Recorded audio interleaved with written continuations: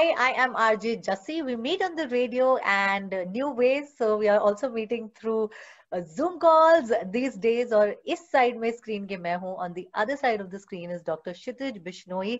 Doctor Kshitij सबसे पहला सवाल आजकल सबसे इम्पोर्टेंट सवाल यही है कि आप फिट फाइन हेल्दी हैं और आपके घर में सब फिट फाइन हेल्दी है हाँ जी थैंक यू जस्सी मैं बिल्कुल ठीक हूँ और मेरे फैमिली मेंबर्स भी सेफ़ हैं इस पेंडेमिक के टाइम में एंड आई विश कि आप सब भी ठीक रहें और सेफ़ रहें कोविड से बचने में Absolutely. Dr. Kshitij is MBBS, MS, General Surgery, MCH Urology और आज डॉक्टर क्षितिज हमारी हेल्प करने वाले हैं honestly awareness when it comes to prostate cancer अभी उतनी नहीं है आम लोगों में and that's where doctor Kshitij will help us सबसे पहला सवाल डॉक्टर क्षितिज यही है कि प्रोस्टेट कैंसर होता क्या है? What is prostate cancer well to begin with मैं आपको जस्ट एक्सप्लेन करूँगा कि प्रोस्टेट ग्लैंड क्या रहती है। Basically okay.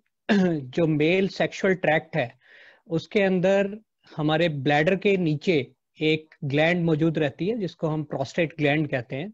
It is more of a shape of a pear और इसका मेन फ़ंक्शन हमारे जो सीमेन के अंदर जो सिक्रीशंस होते हैं उन उनको एक्सक्रीट करना होता है सिक्रीट करना होता है।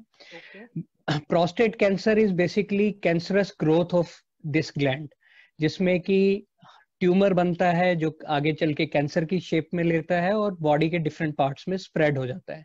ये बेसिकली ओल्ड मेन के अंदर प्रॉब्लम रहती है after the age of 50 55 years ये दो तरीके से ग्रो करता है। एक स्लो ग्रोइंग कैंसर्स होते हैं और एक जो फास्ट ग्रोइंग कैंसर्स होते हैं। बेसिकली जो फास्ट ग्रोइंग कैंसर्स होते हैं वो बहुत जल्दी हमारे शरीर में स्प्रेड कर जाते हैं और जिसके चलते हुए आगे जाके मरीज़ को दिक्कत हो सकती है और उसकी मृत्यु भी हो सकती है कैंसर से। Okay. तो इसके कॉजेज uh, जो हैं uh, इस पर्टिकुलर कैंसर के वो क्या रहते हैं? What what what are the causes you know basically ये बहुत से कारणों से बनता है। Okay. uh, जो हम कुछ एक रिस्क फैक्टर्स आइडेंटिफाई कर पाए हैं उनमें से पहली चीज़ है एज okay. जैसे एक पुरुष अपनी उम्र में बढ़ता है आगे की तरफ़ तो हमारे शरीर में कुछ हार्मोनल चेंजेस होते हैं जिसके कारण प्रोस्टेट कैंसर प्रोस्टेट के अंदर जो सेल्स होते हैं, उनकी कैंसरस ग्रोथ भी हो सकती है।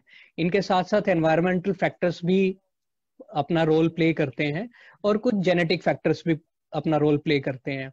जो वेस्टर्न लाइफस्टाइल है, जो आज के टाइम में देखा जा रहा है, क्योंकि ये जितना भी डेटा है हमारे पास, ये ये शो करता है कि जो वेस्टर्न वर्ल्ड में है, जो मोस्टली उनमें ये कैंसर ग्रोथ ज़्यादा होती है और वो मोस्टली उनकी डाइटरी हैबिट से भी रिलेटेड रहती है। जैसे कि मोर ऑफ़ जंक फ़ूड जो है smoking is also a risk factor इसके अलावा मैं एक चीज़ और आपको बताना चाहूँगा कि इसमें फैमिली हिस्ट्री भी बहुत इंपॉर्टेंट है।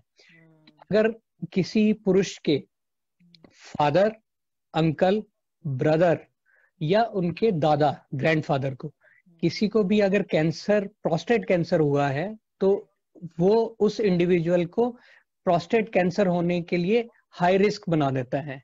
तो इन ऐसे लोगों को हमें बहुत पहले स्क्रीन करना या आइडेंटिफाई करना भी ज़रूरी होता है। और what are the you know क्या क्या सिम्टम्स रहते हैं यू नो के बिकॉज़ कई बार हमने देखा है कि different cancers get diagnosed very late क्योंकि yes. you know, लोगों को अवेयरनेस नहीं होती है तो जब हल्के बहुत सिम्टम आते हैं तो लोग कुछ करते नहीं है। तो what are the symptoms when should one be alarmed कि नहीं मुझे अभी जाना है चेकअप कराने? हाँ ये उन्हीं एक तरीके के कैंसर में से एक कैंसर है। इसमें मोस्टली जो लोगों को इसको मिस्टेक कर लेते हैं कि जो हम नॉर्मल जो प्रोस्टेट की एनलार्जमेंट होती है after the age of fifty years तो क्योंकि इसके और नॉर्मल ग्रोथ के प्रोस्टेटिक एनलार्जमेंट के दोनों के सिम्टम्स मोर और लेस इनिशियल फेजेस में सेम ही होते हैं okay. और कुछ हद तक ये बहुत से केसेस में अनडायग्नोज्ड भी रहता है या एसिम्टोमेटिक भी रहता है क्योंकि पेशेंट को सिम्टोमेटिक होता ही नहीं पाता है तो मोस्टली जो हमारे को सिम्टम्स होते हैं वो बार बार पेशाब आना हम्म। रात को उठ के पेशाब करने के लिए बार बार उठना हम्म। पेशाब की धार का कमज़ोर होना जो कि वीक स्ट्रीम इसके अलावा पेशाब करने में ज़ोर लगाने की ज़रूरत पड़ना जो कि स्ट्रेनिंग टू पास यूरिन इसके अलावा पेशाब में खून भी आ सकता है। हम्म। इसके अलावा इरेक्टाइल डिस्फंक्शन हो सकता है पेशेंट को। और लेट स्टेजेस में बेसिकली पेशेंट जब ये डिज़ीज़ स्प्रेड कर जाता है तो ये बोन्स में स्प्रेड होता है तो उसके कारण पेशेंट को बोनी पेन होती है जो बैक में लेग्स में हिप्स में यहाँ पे पेन होनी शुरू हो जाती है। तो ये इसके मोस्टली सिम्टम्स रहते हैं जो हमें ध्यान रखना चाहिए। Right doctor Kshitij what is this PSA test well PSA is a simple blood test जिससे हम प्रोस्टेट कैंसर को जल्दी पता कर सकते हैं के बारे में। ये एक तरीके का स्क्रीनिंग टूल है और इससे हम प्रोस्टेट कैंसर की ग्रोथ को भी मॉनिटर कर सकते हैं। Okay okay. ये एक सिंपल ब्लड टेस्ट है किसी भी लेबोरेटरी में हो जाता है। ठीक है? हालाँकि इस टेस्ट के पीछे एक ड्रॉबैक ये है कि ये प्रोस्टेट कैंसर के अलावा भी कई कंडीशंस में ज़्यादा या इंक्रीज हो जाती है इसकी वैल्यूज़ जैसे कि प्रोस्टेट ग्लैंड के अंदर अगर इन्फेक्शन है या प्रोस्टेट ग्लैंड की जो नॉन कैंसरस ग्रोथ है जिसको हम बीपीएच कहते हैं उसमें भी ये इसकी वैल्यूज़ इंक्रीज कर जाती हैं। तो जब भी आप ये टेस्ट कराएँ तो हमेशा एक अपने यूरोलॉजिस्ट से ज़रूर कंसल्ट करें। ताकि वो आपको प्रॉपरली गाइड कर सके इसके रिजल्ट्स के regarding right also of course the most important step is uh, you know diagnosis but talking of treatment once a person has prostate cancer what are the treatment options available for such a person uh, well now medical science has improved so much uh, so the cancer treatment is now very effective also basically cancer का कोई भी किसी भी cancer का जो treatment रहता है वो स्टेज के ऊपर डिपेंडेंट रहता है राइट right. ये अर्ली स्टेजेस में जो कि स्टेज वन एंड टू है जिसमें हम इसको एक सर्जरी के माध्यम से कंप्लीटली बॉडी से रिमूव कर सकते हैं जिसको हम रेडिकल प्रोस्टेटेक्टमी कहते हैं ये आज के टाइम में दूरबीन द्वारा की जा सकती है जिसमें कि laparoscopic technique as well as robotic surgery दोनों ही equally safe and equally effective हैं and patient generally have a very good outcome after that and we we can I can assure you that it has a survival benefit of more than 90 percent. Okay. and हालाँकि stage three जो इसकी disease की रहती है उसके अंदर हम chemotherapy radiation इसके साथ साथ हम हार्मोनल थेरेपी के ज़रिए इसका इलाज कर सकते हैं।